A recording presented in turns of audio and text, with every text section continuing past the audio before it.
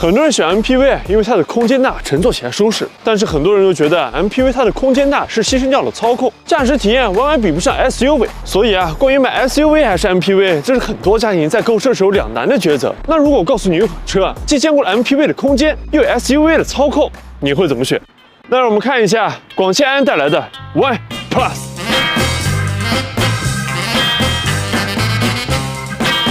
这辆车啊，它的定位啊是一辆 SUV，但是它的车长有足足四米五，轴距两米七五，这么一个车，是的，它这么看起来不像是一辆 SUV，更像是一个迷你版的 MPV。九十度平开的车门，哎，我刚刚上车的姿势，我不知道你们有没有注意到，我再来一遍啊。它不像普通的 LCV 啊，它后面是上翘的，它只要屁股一挪就坐上来了，就特别适合家里面有小孩或者是老人的人上车。而且你坐上来的坐姿啊也很特别，它不像一般的电动车把你的腿给托起来，这样你的腿部就可以非常的放松。一切都得益于安安的一整个电池包，也就是弹夹电池。你可以看到这个地台啊非常的平整，平整到什么地步啊？我可以直接过，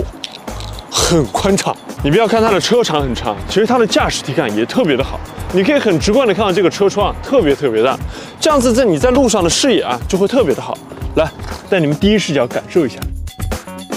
包括说啊，它的视野坐姿啊，其实是要比普通的 SUV 都要高，视野盲区啊几乎没有，加上电车的驾驶感，所以我说这是一个很好的驾控，开起来完全对得起它十四万的价格。iNY Plus 啊，严格意义上来说啊，没有直接的竞品，因为越级的空间、弹夹电池零自然的可靠性、六百一十公里的续航、十四万低廉的价格，如果你只想把它作为一个家用通勤车，平时接接孩子上下班或者周末周边游，再合适不过。